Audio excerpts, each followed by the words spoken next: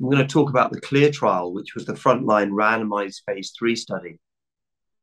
It's a randomized phase three trial, which actually had three arms, but I'm going to focus on the control arm, which was sunitinib, and the study arm of lenvatinib and pembrolizumab. Lenvatinib is a broad spectrum VEGF TKI with some FGFR activity, and pembrolizumab is a PD-1 inhibitor. It's been used safely together in phase one and phase two trials, and this is the pivotal randomized phase three study. The results of the combination showed a statistically significant improvement in progression-free survival. Indeed, the lenvatinib and pembrolizumab is an unprecedented 23 months median progression-free survival. Remember, the overall survival of kidney cancer patients going back a year or two, or three or four, It was only about 24 months. Now we've got PFS of 24 months, which is terrific. Uh, we also showed response rates of 73%. Again, these are extremely high. And um, an overall and a statistically significant overall survival benefit in the region of a hazard ratio of 0.70.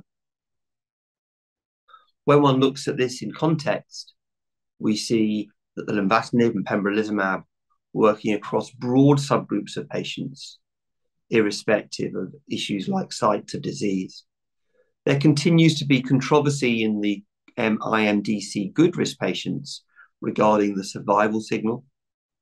Lenvatinib and pembrolizumab, and indeed all the other combinations, have not yet shown a survival benefit in this subgroup. But I think all of the other subgroups are um, benefiting len-pen, and in the good risk patients, the response rate and PFS are higher, which is why the community still gives the combination to this group of patients. The adverse event profile showed a large proportion of patients had to reduce the dose of lenvatinib from the 20 milligrams.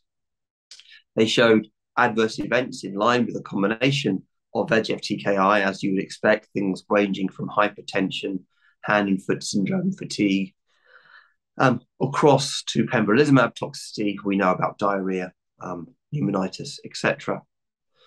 It's notable there was very low levels of transaminitis, um, which wasn't the case for axi-pembro, for example.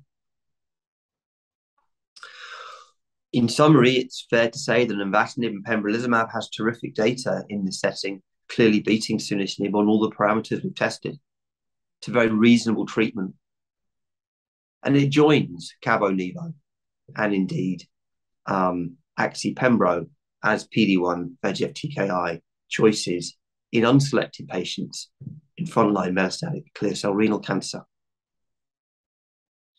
Guidelines such as the ESMO guidelines group, which I'm involved with, give len-pen, lenvatinib pembrolizumab, a 1A, strong supported evidence, as you would expect from this positive randomized phase three study, it's EMA and FDA approved, in fact, globally approved, I imagine.